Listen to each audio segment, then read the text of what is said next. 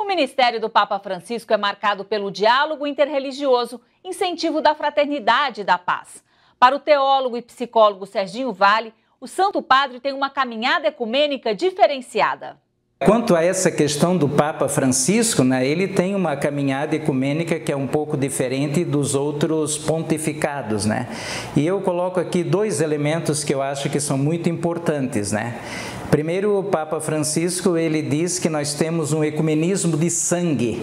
Então é interessante perceber isso que o Papa Francisco ele diz que as nossas igrejas elas estão unidas porque elas professam o mesmo martírio. Professaram professam o martírio dos tempos antigos da igreja, mas professam o martírio hoje. Então o Papa Francisco, numa de suas falas, ele chega a dizer que quando eh, os perseguidores dos cristãos de nossos dias dias de hoje, eles não perguntam se é católico, evangélico, protestante, ortodoxo, não perguntam nada disso. Eles simplesmente vão perseguir os cristãos. Por quê? Porque eles não veem igrejas separadas, eles veem os seguidores de Jesus Cristo. E a segunda coisa de Papa Francisco do ecumenismo é a fraternidade.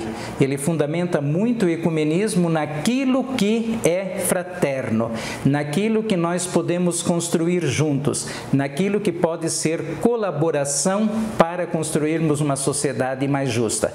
E o exemplo mais próximo disso é a encíclica que ele lançou recentemente, agora em janeiro, né, que se chama Fratelli Tutti, não somente para o ecumenismo, também para o diálogo entre as religiões, mas tem um forte acento ecumênico no sentido que nós somos irmãos, dialogamos e com isso nós construímos uma sociedade mais justa e mais pacífica.